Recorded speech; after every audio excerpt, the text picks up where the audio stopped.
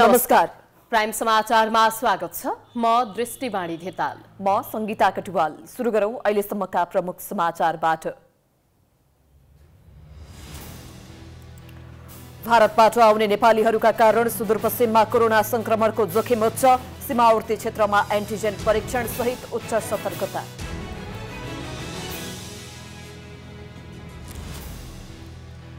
कोशी प्रदेश सरकारद्वारा आन्दोलनरत पहिचान पक्षधरसँग वार्ताका लागि तीन सदस्यीय वार्ता समिति गठन। तत्काल वार्ता प्रक्रिया अघि बढाउने तयारी। नेकपा एकीकृत समाजवादी महाधिवेशन केन्द्रित अभियान सञ्चालनको तयारीमा माघ आठ गते विधान मस्यौदा समितिको बैठक आह्वान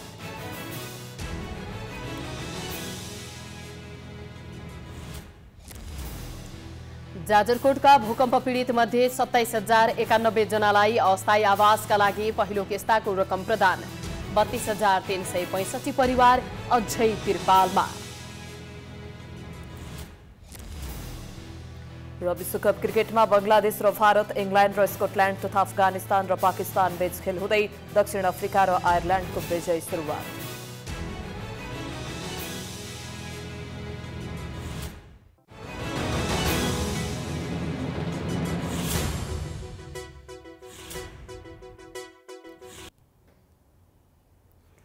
प्राइम समाचार अब विस्तारमा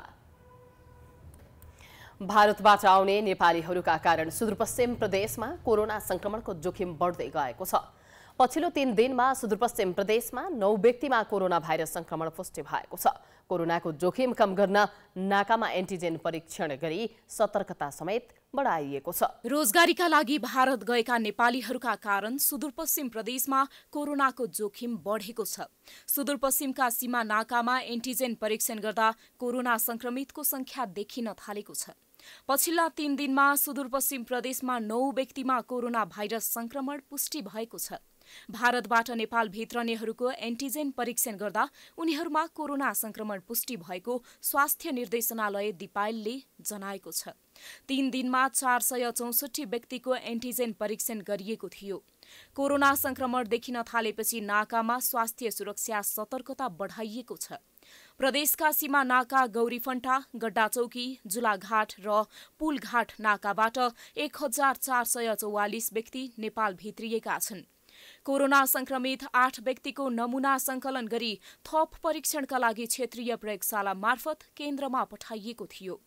गौरीफन्टा सीमा नाकामा हेल्थ डेस्क स्थापना गरी चेक जाँच सुरु गरिएको छ। चेक जाँचको क्रममा कोरोना भाइरसका संक्रमित फेरि भेटिन थालेपछि नाकामा स्वास्थ्य सुरक्षाका मापदण्ड पालना गर्न सुझाव दिइएको छ। स्वास्थ्य निर्देशनालयका अनुसार हेल्थ डेस्कमा नमूना परीक्षणका लागि आवश्यक स्वास्थ्य कर्मी एन्टिजेन किट मास्क ग्लोभ्स लगायत सामग्री पठाइएको छ।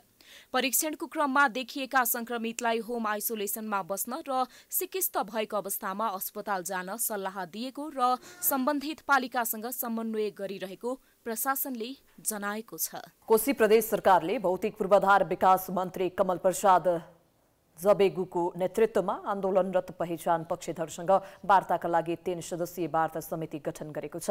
प्रदेश मन्त्री परिषदको आज बसेको बैठकले वार्ता समिति सदस्यमा पर्यटन वन तथा वातावरण मन्त्री गणेश उप्रेती र सदस्य सचिवमा अन्तरिक्ष मामिला तथा कानून मन्त्रालयका सचिव लक्ष्मी प्रसाद पौडेल रहने निर्णय गरेको छ। प्रदेशसभा बैठकले फागुन सत्र गते प्रदेशको नाम कोशी पारित गरेदेखि पहिचान पक्षधरले प्रदेश एक पुनः नामाकरण संयुक्त सङ्घर्ष समिति गठन गरी। आन्दोलनरत छन्। उक्त आन्दोलनका क्रममा आन्दोलनरत पक्षका पदमा लिम्बूको मृत्यु हुनुका साथै कडा आन्दोलन गर्दै आएका छन्। मुख्यमन्त्री केदार कार्कीले पहिचान पक्षधरको माग र मुद्दा सम्बोधनका लागि पहिचान कायम गर्न खुवालुङ तुवाचुङ फाल्गुनन्द आत्मानन्द क्षेत्रको विकासका साथै फाल्गुनन्द भाषा संस्कृति संरक्षण प्रतिष्ठान गठन गर्ने चालु आर्थिक वर्षको बजेटमा व्यवस्था गरेका हुन्। किराँत सभ्यतालाई शिरमा राखेर आशीर्वाद जनजातिको पहिचान राखेर आशावादी जनजातिको शिरमा राखेर आदिवासी जनजातिको पहिचान कायम गर्दै माग र मुद्दा सम्बोधनका लागि आन्दोलनरत पक्षसँग वार्ता समिति गठन गरेको मुख्यमन्त्री कार्कीले बताएका छन्। वार्ता समिति संयोजक मन्त्री जबेगुले तत्काल समितिको बैठक बसेर निर्णय गरी आन्दोलनरत पक्षलाई पत्राचार गरेर वार्ता प्रक्रिया अघि बढाउने बताएका छन्। एकीकृत समाजवादीले यही माघ पच्चिस गतेदेखि महाधिवेशन केन्द्रित अभियान सञ्चालन गर्ने भएको छ। आगामी वैशाखसम्म सञ्चालन हुने अभियान अन्तर्गत संगठन सुदृढीकरण सदस्यता वितरण राजनैतिक तथा सामाजिक गतिविधिको अभिलेखीकरण र प्रशिक्षण लगायतका कार्यक्रम तय भएको छ। आगामी जेठमा राष्ट्रिय महाधिवेशन गर्न लागेको पार्टीले माताहातका कमिटीलाई यही माघ चौध र पन्ध्र गते काठमाडौँमा हुने आसन्न दोस्रो केन्द्रीय परिषद बैठकमा सहभागी हुन आउने सबै नेतालाई पार्टी सदस्यता नवीकरण गर्न निर्देशन दिएको छ। विधान संशोधन मस्यौदाबारे छलफल गरिने सो बैठकमा पार्टीले तयार पारेको विधान संशोधन मस्यौदामा तल्लो कमिटिका सुझाव समावेश गरिनेछ। बैठकमा सहभागिताका लागि केन्द्रीय निकाय प्रदेश कमिटी जिल्ला कमिटी लगायत कमिटीमा रहेका नेताले समयमै आफ्नो कार्यक्षेत्रका केन्द्रीय परिषद सदस्यलाई बैठकबारे जानकारी गराउनुपर्ने प्रावधान राखेको बताइएको छ।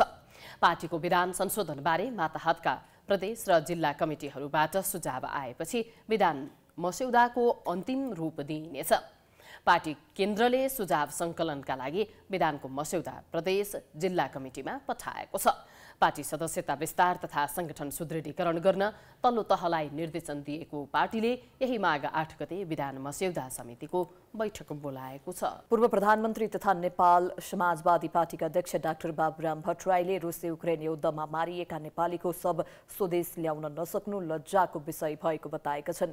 आज सामाजिक सञ्जालमा लेख्दै डाक्टर भट्टराईले रोजगारीका खोजीमा हाम्रा युवा रुस युक्रेन जस्ता युद्धग्रस्त क्षेत्रमा पुगेर दर्जनौको सङ्ख्यामा मारिनु र उनीहरूको लास देशमा ल्याउन नसक्नु ठूलो राष्ट्रिय लज्जा र चिन्ताको विषय भएको उल्लेख गरेका छन्। सरकार बाह्र सत्ताइसका कुरा गरेर बस्नु र आफ्नो अनुहार हेरेर आफै रमाएर बस्नुभन्दा एक सूत्रीय रूपमा देशमै युवाहरूलाई सम्मानजनक र आयमूलक रोजगारी सिर्जना गर्न लागि पर्नुपर्ने उनको धारणा छ। प्राइम समाचार जारी छ। हामी विश्रामपछि आउँछौँ।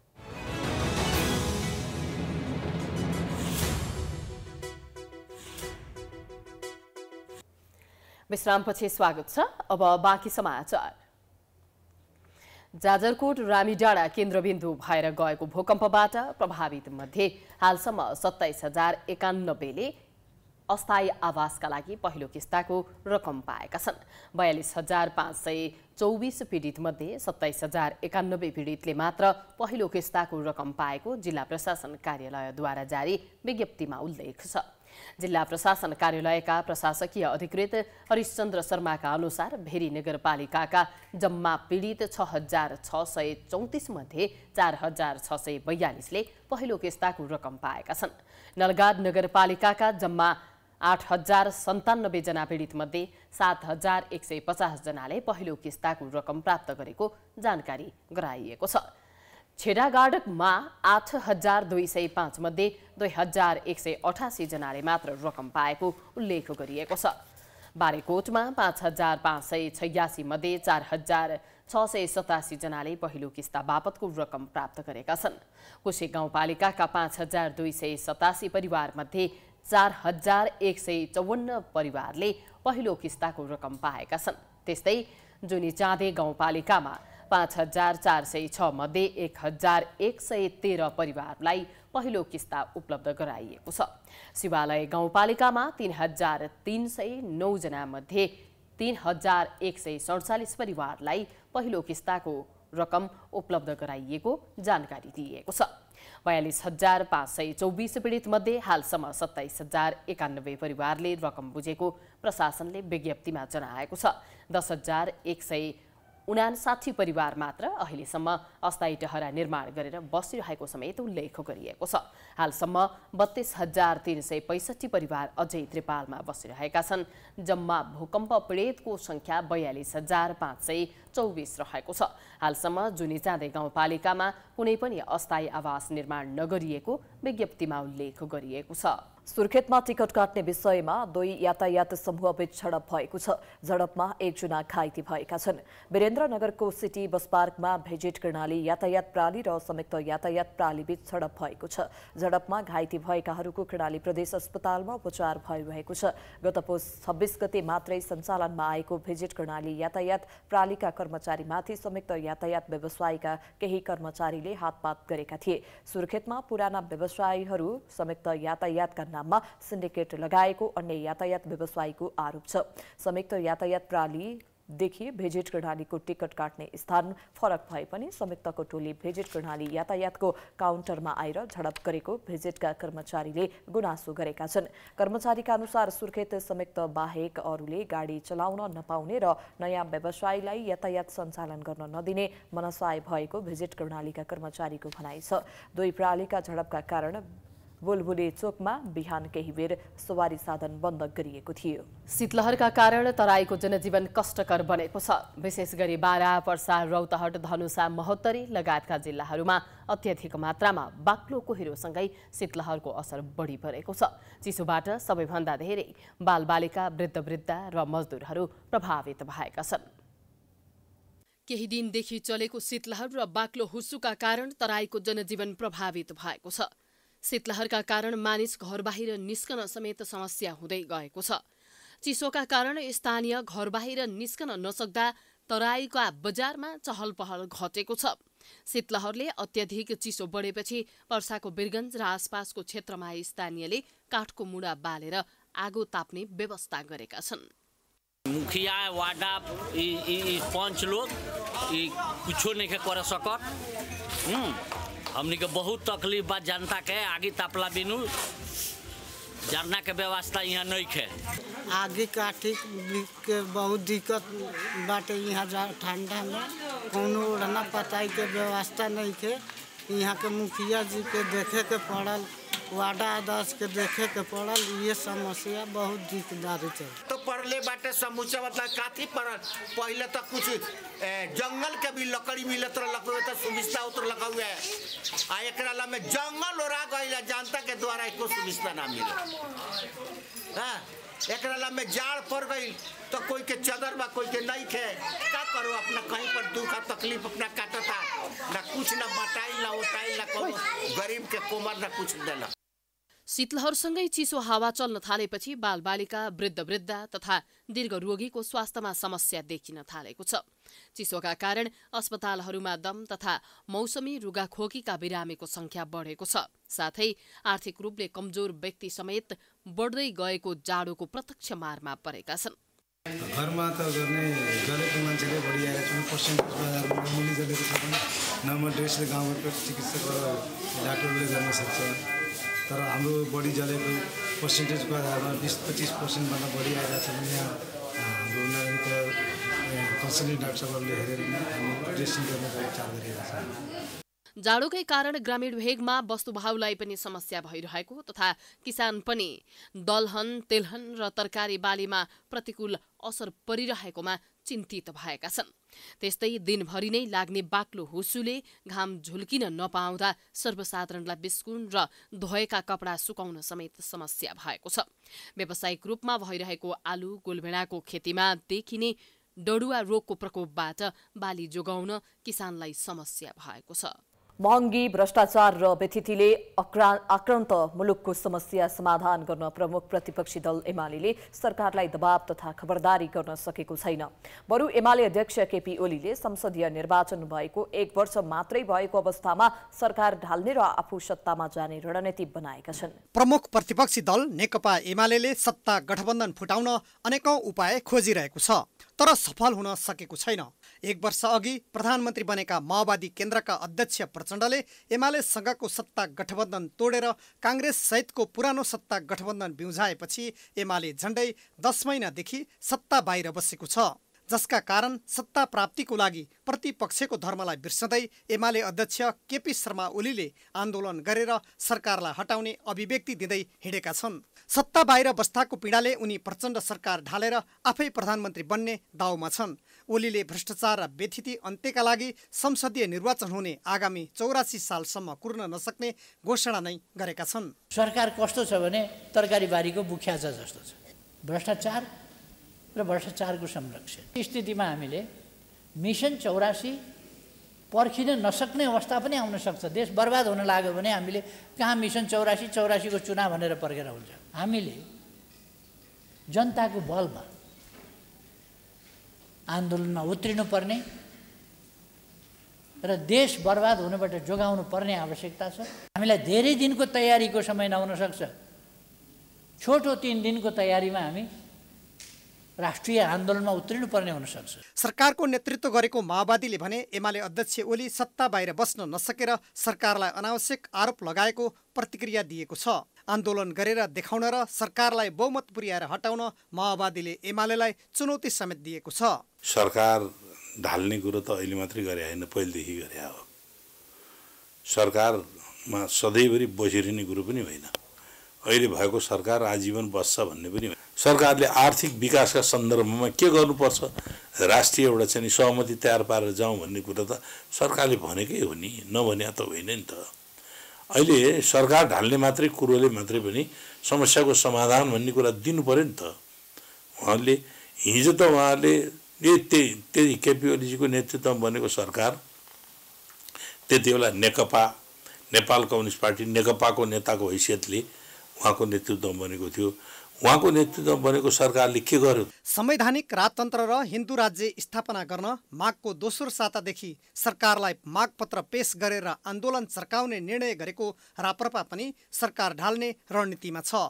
एमाले अध्यक्ष ओलीको सरकार विरोधी अभिव्यक्तिले राप्रपा उत्साहित बनेको छ।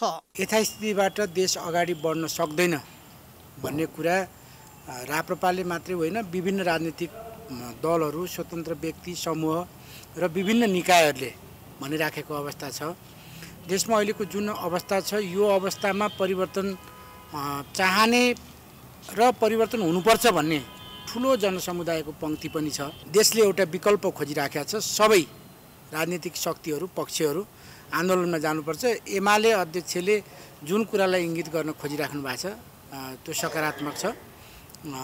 हामी चाहिँ खुसी नै छौँ। सरकार बाहिर रहेका दलहरू आन्दोलन गर्ने भनिरहँदा के अहिलेको अवस्थामा सरकार विरुद्ध आन्दोलन आवश्यक छ त भन्ने प्रश्न उब्जिएको छ। सत्ता स्वार्थकै लागि गरिने आन्दोलनको औचित्य भने देखिँदैन। अर्को क्रियाकलापले गर्दा यो सर्वोत्तम सिस्टमलाई पनि अहिले खत्तम सिस्टम भनेर केही न केहीको मान्छेहरूले पनि उहाँ ठडाउने वातावरण बनाएको उहाँहरूले नै हो हेर्नुहोस्। त्यसो भएको हुनाले न मौसम छ न त्यो लेभलको उहाँहरूको नैतिक धरातल उच्च छ। प्रमुख प्रतिपक्षी दलको नेताले यो सारा देशमा भएका विकृति समाप्त पार्न म आन्दोलन गर्छु र मैले राम्रो गराउँछु भन्ने कुरा चाहिँ सायद उहाँको त्यो स्तरले पनि मिल्ने कुरा होइन यहाँको परिस्थितिले पनि मिल्ने कुरा होइन र उहाँका विगतका क्रियाकलापले पनि उहाँलाई त्यो किसिमको अपर्च्युनिटी छ जस्तो मलाई लाग्दैन। प्रमुख प्रतिपक्षी दलको भूमिकाबाट सशक्त रूपमा प्रस्तुत हुन नसकेको र जनचासोको विषयमा मौन बसेको कारण पछिल्लो अवस्थामा एमालेलाई रासोपा राप्रपा लगायत अन्य साना दलले समेत साथ छोड्दै गएका छन्। सबैतिर एक्लिएको एमाले आन्दोलन गरेर प्रचण्ड सरकार ढाल्छ वा पछि हट्छ त्यो भने भविष्यले नै देखाउनेछ। सरकारले राष्ट्रिय गौरवका आयोजनाका लागि पर्याप्त बजेट विनियोजन गर्न नसकेको भन्दै आलोचना हुने गरेको छ। शुक्रबार सिंहदरबारमा बसेको सरकार समितिको बैठकमा उपस्थित ऊर्जा मन्त्री शक्ति बस्नेतले पनि यस्तै आरोपको सामना गर्नु पर्यो उनले गौरवका सिँचाइ आयोजनामा बजेट अभाव हुन नदिने प्रतिबद्धता जनाए पनि विश्वस्त हुन नसकेको समितिले मन्त्रालय र योजना आयोगसँग थप छलफल गर्ने भएको छ। सरकारले पर्याप्त बजेटको व्यवस्था गर्न नसक्दा कतिपय राष्ट्रिय गौरवका आयोजना अलपत्र छन्। राष्ट्रिय गौरवका आयोजनाकै यो हालत हुँदा देशका अन्य आयोजनाको अवस्था के होला? सहजै अनुमान लगाउन सकिन्छ। बजेटमा विभेद भएको आरोप खेप्दै आएका सरकारका मन्त्रीहरूमाथि संसदका विभिन्न समितिहरूले समेत बैठकमा बोलाएरै प्रश्न तिर्साउँदै आएका छन्। शुक्रबार सिंहदरबारमा बसेको राष्ट्रिय सभा अन्तर्गतको राष्ट्रिय सरोकार तथा समन्वय समितिको बैठकमा ऊर्जा जलस्रोत तथा सिंचाई मन्त्री शक्ति बहादुर बस्नेतले पनि यस्तै आरोपको सामना गर्नु पर्यो सदस्यहरूले सरकारले नै आयोजना छनौट र बजेटको व्यवस्थापनमा पक्षपातपूर्ण व्यवहार गरेको आरोप लगाए। बजेटको सुनिश्चितता छैन पैसो आएको छैन ठेगाले पैसो पाएको छैन अब केही समयपछि त कामै रोक्न पर्ने स्थिति भन्न चाहिँ भन्ने सुनिन्छ। हामी के पैसै बिना चाहिँ योजना छनौट गर्छौँ कि? अथवा चाहिँ नाराको रूपमा लान सस्तो लोकप्रियता ल्याउनलाई त्यो गर्छौँ कि? बरु जति गर्न सक्छौँ त्यति कुरा गरौँ न। नगरपालिकाको एक नम्बर वडामा फेरि कालोपत्रे भएको ठाउँमा एघार लाख पचासी हजार ग्राभिल र बाटो जोडिएको ठाउँमा नौ लाख चौवालिस हजार र बाटो नभएको खेतीयोग्यमा पाँच लाखको दरले एउटै नगरपालिकाभित्र एउटै प्रकृतिको जग्गामा चाहिँ दोहोरो मापदण्ड भयो भन्ने कुरा आएको छ। यसबारेमा चाहिँ के हो? म स्पष्ट हुन चाहन्छु त्यति हो। समितिका सदस्यहरूले अनेक आशंका व्यक्त गरेपछि मन्त्री बस्नेतले राष्ट्रिय गौरवका सिंचाई आयोजना निर्माणमा बजेटको कमी हुन नदिने प्रतिबद्धता जनाए। उनले विभिन्न सिंचाई आयोजनाहरू लामो समयदेखि निर्माणाधीन रहेको भन्दै उक्त आयोजनाहरूलाई सरकारले प्राथमिकतामा राखेको दावी गरे। उनले सिंचाई आयोजना निर्माणलाई निरन्तरता दिएको र पूर्ण रूपमा सम्पन्न नभए पनि जनताले भने त्यसबाट लाभ लिइरहेको उनको भनाइ थियो। मन्त्री बस्नेतले राष्ट्रिय गौरवका सिंचाई आयोजना निर्माणमा केही ढिलाइ भएकाले समय तोकेरै सम्पन्न गर्ने गरी काम अघि बढेको धारणा राखे। त्यस्तै उनले सुक्खा याममा विद्युतको आयात घटाउन उत्पादन बढाउनु पर्ने र जलसाययुक्त आयोजनाहरूमा ध्यान दिनुपर्ने बताए। जलसाययुक्त आयोजनाहरू निर्माण गर्दा लागत महँगो हुन जाने र नाफा पनि कम हुने भएकाले त्यस्ता आयोजनामा लगानी आकर्षित गर्न नसकिएको मन्त्री बस्नेतको भनाइ थियो। सिँचाइको क्षेत्रमा जाँदा राष्ट्रिय गौरवका आयोजनाहरूको कार्यान्वयनको प्रक्रिया अलिक फरकै हुँदो रहेछ। किनभने त्यहाँ सिँचाइको आयोजना भने कम्प्लिट भइसकेपछि मात्र त्यसको लाभ लिने भन्ने कुराहरू होइन रहेछ। लाभ पनि लिँदै जाने कम्प्लिट पनि गर्दै जाने। अब जस्तो बाबु सिँचाइ आयोजना छ तिस पैँतिस वर्ष त भइसक्यो। त यसको अर्थ अहिले त्योबाट पटक्कै लाभ राष्ट्रले नलिया भन्ने त होइन। करिब अधिकांश बर्दिया जिल्लाको अधिकांश क्षेत्रमा त अहिले सिँचाइ भइराखेको छ सिँचाइ आयोजनाबाट नै भइराखेको छ। मन्त्री बस्नेतले बजेट अभाव हुन नदिने प्रतिबद्धता जनाए पनि सदस्यहरू विश्वस्त हुन सकेनन्। सरकारको बोली एक थरी र व्यवहार अर्को भएको आरोप उनीहरूले लगाए। सदस्यहरूबाट व्यापक गुनासो आएपछि समितिका सभापति दिलकुमारी रावलले गुनासो व्यवस्थापनका लागि भन्दै अर्थ मन्त्रालय र राष्ट्रिय योजना आयोगसँग थप छलफल गर्ने निर्णय सुनाइन्। के चाहिँ राष्ट्रिय गौरवको आयोजनालाई बजेटको अभाव छ भन्नु पर्यो बजेटको अभाव छैन एकदमै भनेर उहाँले बोल्नुहुन्छ फेरि हामीले चाहिँ त्यो अभावको कुरा सुनिरहनु पर्ने गुनासो। यो हिसाबले हामी अर्थ मन्त्रालय राष्ट्रिय योजना आयोगसँग सिँचाइमा मात्र नभई सरकारले सबै किसिमका राष्ट्रिय गौरवका आयोजनालाई पर्याप्त मात्रामा बजेटको व्यवस्था गर्न नसक्दा काम कारवाही प्रभावित भइरहेको छ। कतिपय सम्पन्न भइसकेका आयोजना पनि पर्याप्त मात्रामा उपभोग हुन सकेका छैनन्। नेताहरूले राजनीतिक शक्तिका आडमा आयोजना छान्दा यस्तो समस्या आउने गरेको छ। त्यसैले सरकारले आयोजनाको छनौटमा पनि विशेष सावधानी अपनाउन आवश्यक देखिन्छ। स्मार्ट लाइसेन्समा कर्मचारी र बिचौलिया मिलेर घोटाला गरेको पाइएको छ। मान्छेको विवरण र फोटो नै मेटेर लाइसेन्स बिक्री गर्ने गरेको पाइएको हो। कर्मचारीकै सेटिङमा बिचौलियाहरूले ट्रायल र लिखित परीक्षा बिनै एक लाखभन्दा धेरै लाइसेन्स बेचिसकेका छन्। के तपाईँ लाइसेन्स खल्तीमा छ भनेर ढुक्क हुनुहुन्छ? ढुक्क नहुनुहोस् किनकि यातायात कार्यालयका कर्मचारीहरूले नै विभिन्न व्यक्तिको नाममा लाइसेन्स किर्ते गरेर बेच्ने गरेको खुलेको छ। कर्मचारीकै सेटिङमा बिचौलेहरूले ट्रायल र लिखित परीक्षा बिनै एक लाखभन्दा धेरै लाइसेन्स बेचेको पाइएको हो। पुराना लाइसेन्सको विवरणदेखि फोटोसम्म मेटेर तिनैको आधारमा प्रिन्टसम्मै सेटिङ मिलाएर लाइसेन्सको दुरुपयोग गरेको पाइएपछि यो विषय अहिले प्रहरीको समेत टाउको दुखाइको विषय बनेको छ। सेवाग्राहीको नाम थर ठेगाना समेत जानी जानी गलत लेख्ने र सही रूपमा पास गरेको ट्रायल लिखित परीक्षा र बायोमेट्रिक सबैको आधारमा बिचौलेहरूले अरूलाई नै लाइसेन्स दिने गरेका थिए। त्यसैको एउटा प्रतिनिधि हुन्। झापाका सुनिल लिम्बू कोरियाबाट छुट्टीमा आएका उनी लाइसेन्स नवीकरण गरेर जाने सोचमा यातायात कारले झापाको बिर्दामठ पुगे। तर उनको लाइसेन्समा सुरुमै उनको बुवाको नाम र उनको थरको स्पेलिङ समेत मिस्टेक लेखिदिएका थिए। अहिले उनी यही लाइसेन्स सच्याउन र नवीकरण गर्न झापादेखि काठमाडौँ यातायात विभाग आइपुगेका छन्। उनले सही सलामत बकैतका साथ ट्रायल दिएर लिखित परीक्षा दिएरै लाइसेन्स पाएका थिए तर एकजना कर्मचारी र बिचौलिएका कारण उनले पाउनुसम्मको शास्ति पाउनु परेको छ। ओरिजिनल थर चाहिँ कन्दङवा जिडब्लुए हो होइन? बाबाको चाहिँ अब कन्दङवा भन्नु पनि बिए लेख्दैछ क्या? यस्तो चाहिँ हेर्नु थर पनि हजुर बुवाको थर पनि मेरो चाहिँ ठिक छ। बुवाको बिगारिदियो अब यहाँनिर माथि आइटीमा जानुहोस् न भन्यो। यहाँ यहाँ भनेको यहाँबाट हुँदैन झापै जानुपर्छ भन्यो। त्यस्तो त्यस्तो समस्या त्यस्तो हेलचेक्राइहरू चाहिँ धेरै हुँदो रहेछ। जस्तै यो मेरो छाते ढुङ्गा गाविस हो पहिलाको होइन? यसमा चाहिँ चुवान डाँडा थियो। त्यो चाहिँ धेरै झगडा गरेर उतै बनाएको थिएँ। एकदम त्यो एकदम हेलचेक्राइ चाहिँ साह्रै हेलचेक्राइ छ भनेको यहाँ विभागमा भन्दा त्यो अरू हजुर कार्यालयमा जिल्लाको कार्यालयहरूमा जस्तै मेरो हाम्रो मेरो जिल्ला चाहिँ झापा भयो। झापाको बिर्तामोडमा चाहिँ त्यहाँ यातायात कार्यालय छ। त्यहाँबाट चाहिँ धेरै गडबडीहरू भएको रहेछ। मेरो चाहिँ हजुर।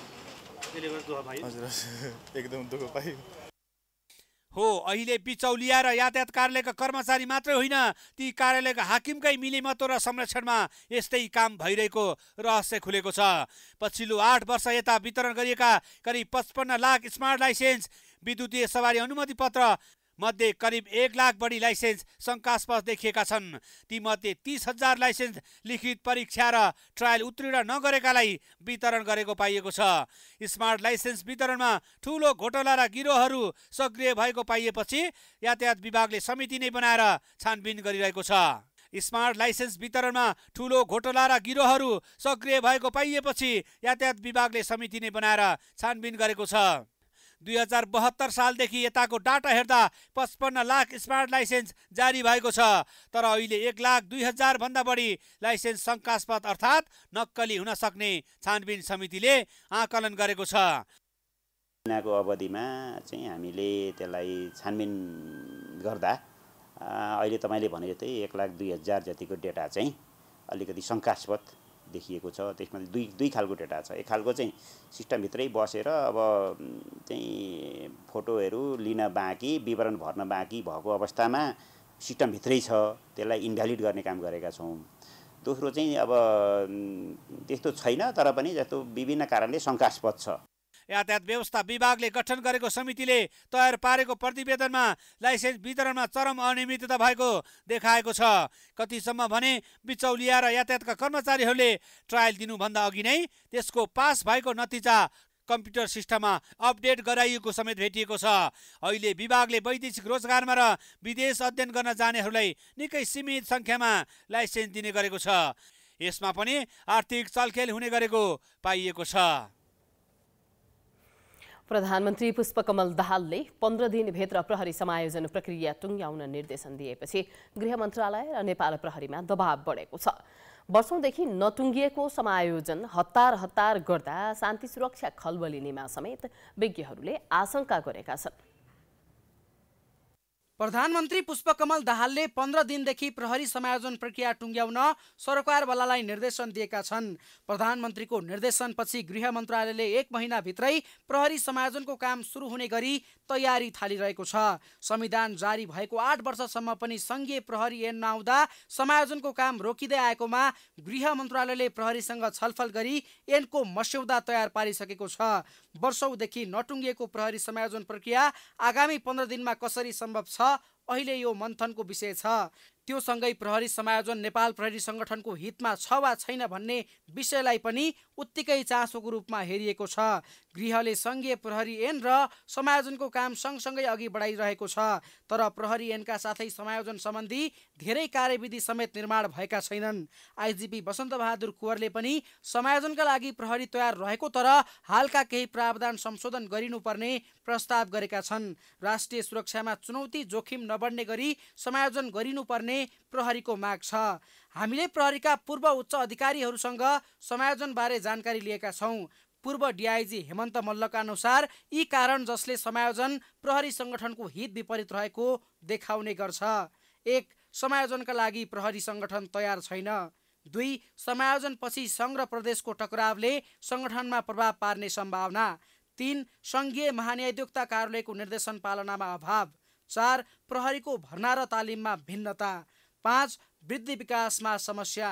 छ समन्वयमा अभाव। सात शान्ति सुरक्षामा समस्या। आठ प्रहरीको चेन अफ कमान्डमा असर। प्रदेश सरकारको निरन्तर दबावपछि सरकारले प्रहरी समायोजनको काम अघि बढाउन लागेको हो। समायोजनपछि प्रहरीमा झन राजनीतिक हस्तक्षेप बढ्न सक्ने केन्द्र र प्रदेश प्रहरी बीच टकराव हुन सक्ने भएकाले सुरक्षामा चुनौती थपिन सक्ने जोखिम रहेको पूर्व प्रहरीहरूको दावी छ। के छ भनेपछि अहिलेको जुन समाज या जुन किसिम राजनीतिक जुन किसिमको ढल्किँदै गइरहेको छ नि यो मुङ्रोको भरमा जोसँग तागतको भरमा देखिरहेको छु कि मैले। यो सिम्पली के हो भनेपछि तपाईँले हेर्नुभयो होला तलबाट दबाउ आइरहेछ कि? जुन प्रदेशका मानिसहरू छन् उनीहरूलाई यो चाहियो प्रहरी जसरी पनि प्रहरी चाहियो। अरू केही पनि चाहिएन उनीहरूलाई प्रहरी चाहिँ चाहियो चाहियो भन्ने भइरहेछ। त्यो दबाउ जस्तो लाग्छ मलाई होइन?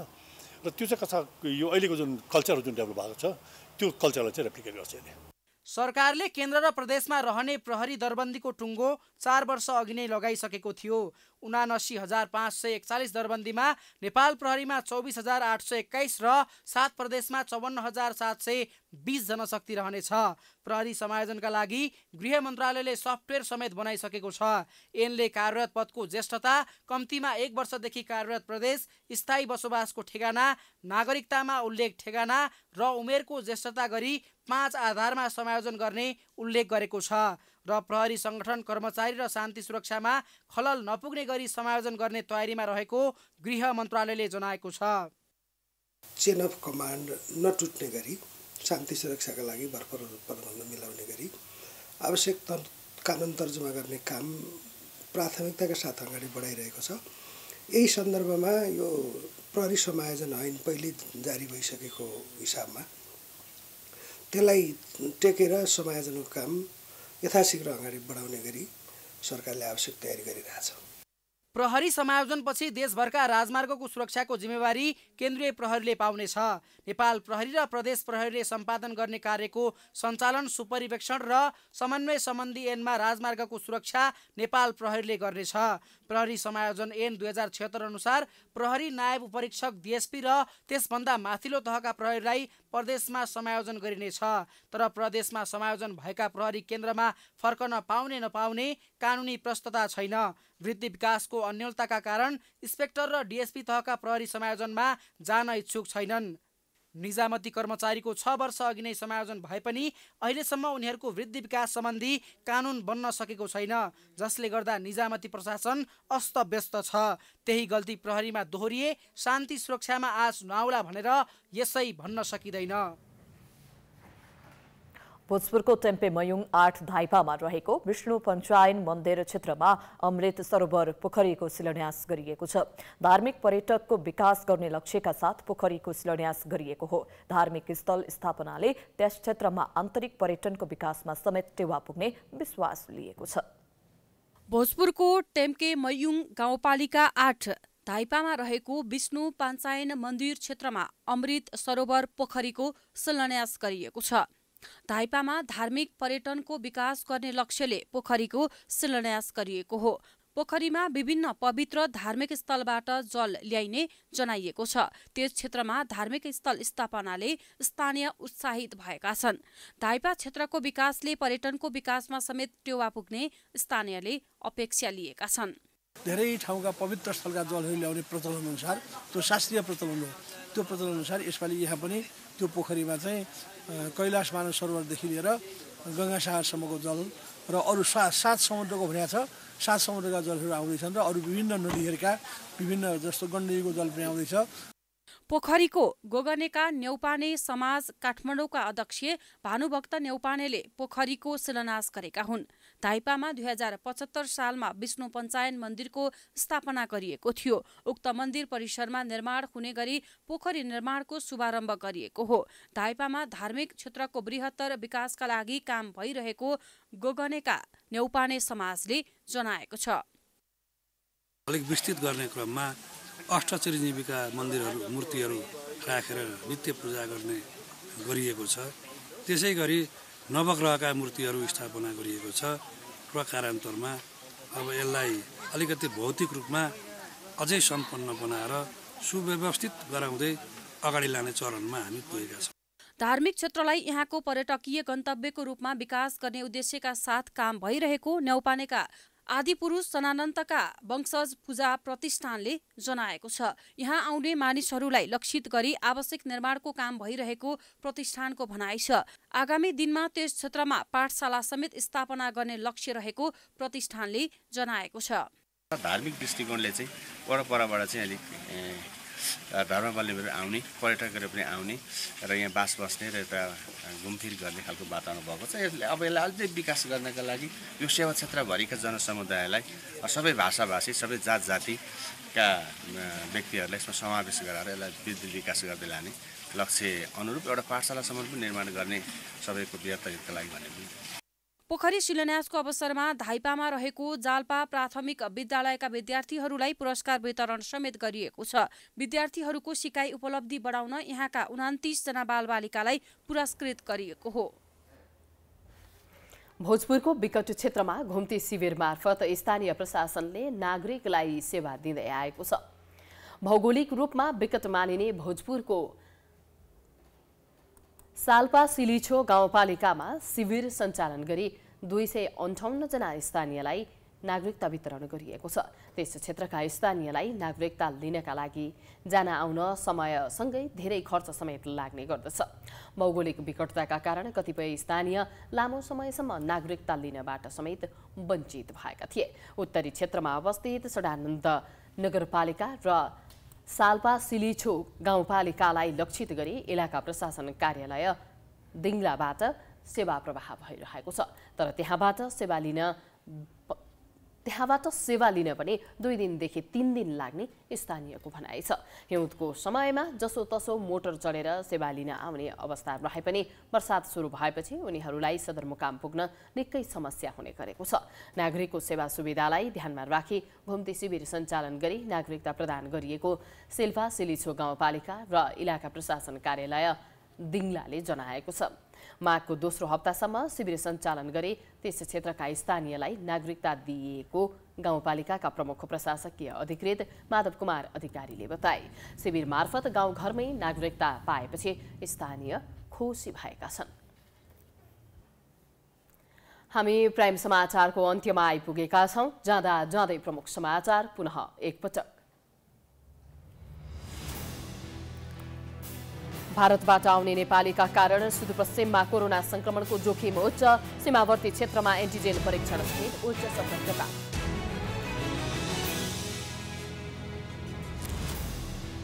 कोशी प्रदेश सरकारद्वारा आन्दोलनरत पहिचान पक्षधरसँग वार्ताका लागि तीन सदस्यीय वार्ता समिति गठन तत्काल वार्ता प्रक्रिया अघि बढाउने तयारी।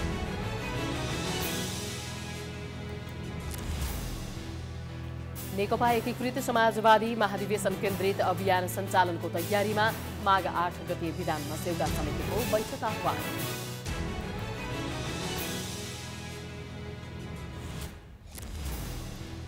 जाजरकोटका भूकम्प पीडित मध्ये सत्ताइस हजार एकानब्बे जनालाई अस्थायी आवासका लागि पहिलो किस्ताको रकम प्रदान बत्तीस हजार तीन सय पैँसठी परिवार अझै त्रिपालमा।